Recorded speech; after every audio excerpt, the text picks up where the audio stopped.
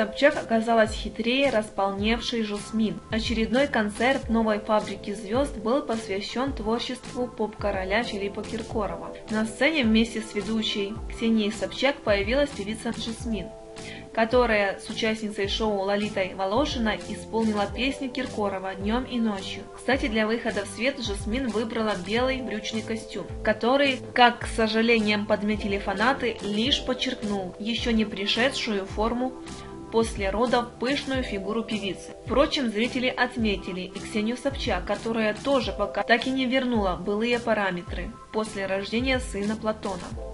Однако ведущая оказалась хитрее певицы, потому что выбрала для съемки черное платье с пышной юбкой, скрывшей все несовершенства фигуры.